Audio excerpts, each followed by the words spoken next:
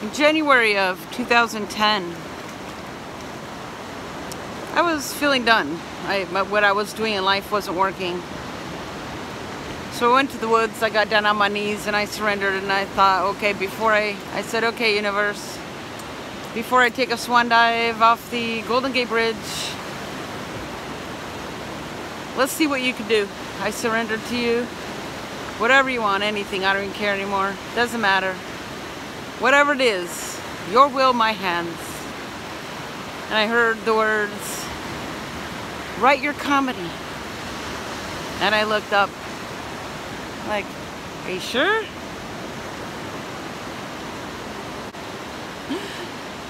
And I just wrote it off. I wrote it off as just my imagination. And I kept hearing this nagging voice to write my comedy and you know, I just thought no one makes money on comedy. I can't live on comedy. I'm not going to leave a secure business doing comedy and I couldn't do both. Um, and that December, December 10th, 2010, I had this car accident. Someone T-boned me running a red light and that forever changed the course of my life. And sometimes I do, I think, okay, well, I wasn't able to do it on my own. I literally got hit on my, I had to get literally hit on my head to create change. And I felt called to change and I was afraid. I was afraid of the unknown, leaving a secure business.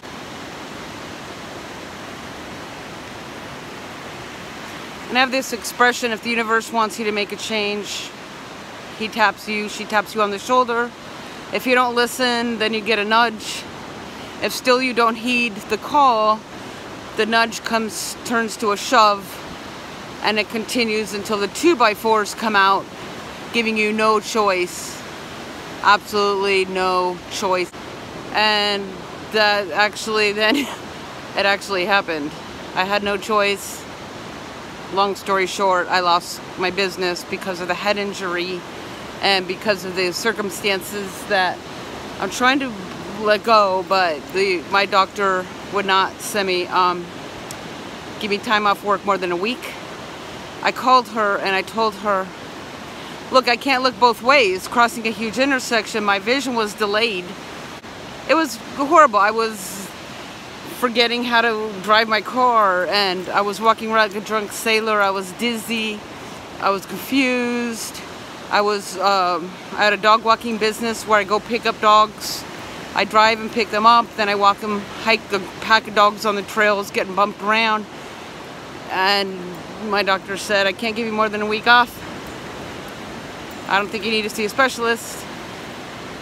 Chiropractor gave me, sent me to a specialist and I went back the second time saying, look, it's getting worse. Every time a dog bumps into me or pulls on a leash, which is all day, every day, all the concussion symptoms come back and it's getting they're getting worse. And he just sat back and looked at me. He was a neurosurgeon. I didn't know at the time I should have gone to a been sent to a neurologist.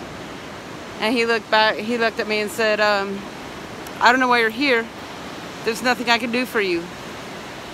So after these series of doctors just letting me down, telling me it's no big deal, it'll heal on its own, I pushed and I pushed for six years. I pushed through the flare-ups, what now I'm finding out is um, were actually more concussions. It wasn't until six later I realized that now they're saying after you have a concussion, anytime you have a jolt to your body or head that causes the symptoms, that's another concussion. So based on that definition, I've had about 4,000 concussions and that's why it just is plateaued where I'm okay one day and any kind of jolt to my body or head, um, sometimes very slight, my, my brain will go down. And that's why I don't do videos for long periods of time because I'll be down for days or a week. And on the good days, the few good days I have, I'll be catching up on food and everything.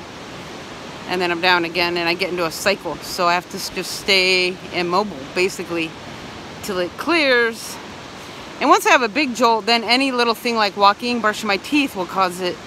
Um, so I have to really stay down until it's out of that mode. Like when you have a sprained ankle, you're fine, then you twist it again, and then you can barely walk again. It's like that. Now, I did go through a lot of rage, a lot of anger. I mean, nothing like I've ever experienced before. I've never been an angry person over the doctors. The lawyer wouldn't fight for me because the sick case was too small. The insurance fought. So, and I didn't find out until years later after I settled. I got like, they paid for some those medical doctor bills and imaging and a few bucks, but that didn't even cover my lost wages even at all. So I used my savings to cover for lost wages.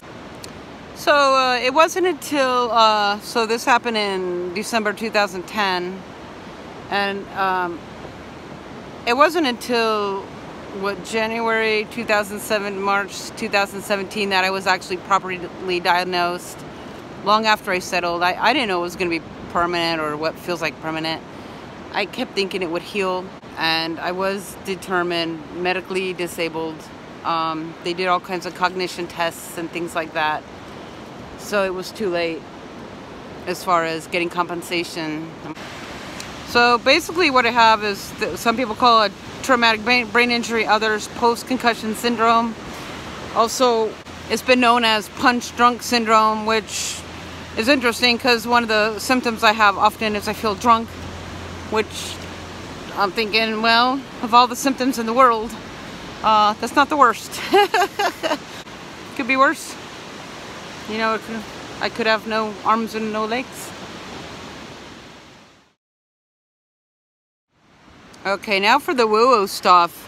So there was a lot of anger. I was upset. I, my life was destroyed. But then I realized, or sometimes I'll remember, that life wasn't working for me. And if it wasn't for the spiritual practice I've studied for over a decade, and I've heard stories of people who would lose, they lost their their business, they lost their partner, they lost their house, they lost their kids, and they went into this very dark place. And it turns out the new life was something that they never even could have conceived on their own. So it took this inciting incident to get there. And then they start realizing, you know what? that life wasn't working for me, but I was in denial. I was in denial because of fears, fear of change, fear of the unknown. I am, this is working as far as financially I was secure. My analogy for this is uh, inertia. Um, bodies in space will travel at the same velocity and the, in the same direction until another force gets into its gravitational field and changes its course. And I used to joke about everything I learned about humans. I learned from physics because we tend, I feel like I see that we do that as well. We will stay on the same course until something happens to change it if we can't do it on our own. And that's why I tell people if you feel called to change, do it. Do it. You can do it the easy way or the hard way. And yeah, this living with a brain injury is definitely the hardest thing I've done in my life. I had experienced in my life. And I've been through some really bad stuff and this, when your brain's not working and you can't dress yourself, you can't feed yourself, you can't walk your dog, that's to me the scariest thing I've ever experienced. Um, nothing in my life could keep me down. I, I put myself through Berkeley, UC Berkeley. I wrote comedy. I wrote a screenplay. Um, I did comedy. I did a little short. I mean, this. This is the first thing, and it's humbling. So it's definitely still. This is definitely by far the darkest time in my life, but at the same time, during the darkest time of my life, the brightest light has shone through. And I've learned so much. I've learned how to slow down. I'm having to completely redo everything the way I do, the way I function. People showed up. People I never would have expected showed up and helped me when when my brain went down and uh, never in my life I was able to I've never been able to ask for help or accept help and I still have a hard time with it but I'm learning these things these new it's like a metamorphosis it's like I was in a chrysalis and I'm starting to come I actually feel like I'm still in it but I come out and I go in you know the chrysalis of the caterpillar turns into the butterfly um, so yeah people showed up and that changed me so all of these things would not have happened without this incident. And I tell people there are always, no matter what happens, there's always a silver lining for those who are willing to see. And people get upset. Some people get really defensive and they say, "Oh, well, what's the silver lining to this or that or my mom dying or the baby or whatever?" And I say, "You know, you're right. You're right. I I can't answer that for you. Only you can answer that. And you got to get out of the small picture and get into the big picture, the universal picture of of what's happening." Another thing, a silver lining to this was that when you have a light, I know that if I get in that same accident again, I'm not going home. It's over. My life is over. My last day could be at any time. And the thing about that is at first it's scary and then it's liberating. Then you realize, oh, you know, do what you need to do. If there's anything in the world you want to do in life, do it. But you, like I tell people, you can drink all the smoothies in the world. You can do all the yoga poses from dawn to dusk. But you never know when someone's going to run a red light and, and cause a brain injury or worse. Some even somewhat mystical things. Um, I'll just say one of them was um, I remember when um, back in January when this all really went down, and just standing in the middle of the living room and with a blank mind. I would call a blank mind. Back then there was no research. I couldn't find anything on it, so I just called it blank mind, where my brain would, brain would just stop, and I would be aware that I'm standing there, but that was it and it's just scary. I'm like, I, I'm just standing there with a blank mind. Like, I'm not walking. I don't know what I'm doing. I don't know what to do. I call them Alzheimer's moments. But um, then I thought, you know, people have walked to the ends of the earth. People have lived in, in mountaintop caves, starving themselves, lived in poverty and, and, and starvation to get to this point. Empty mind. All I had to do was get hit by a speeding Volvo. Alright, that's not funny to anyone but me. and I forgot the most, one of the important parts is, so what's my channel about and what I'm trying to do with it. And um, YouTube serves two goals for me. And one is that I, I want to give back, give back to the universe. People help me out so much. I just thought, and that whole calling thing, I'm like, I just want to give back. And it's a great vehicle, you know, whether through information or inspiration or just pure entertainment. And the other goal um, is to, an attempt to generate some income for the first time since I lost my business in January of 2017. Um, it's hard to find jobs when there's days you can't get your pants on. You'd be surprised at how many jobs require pants.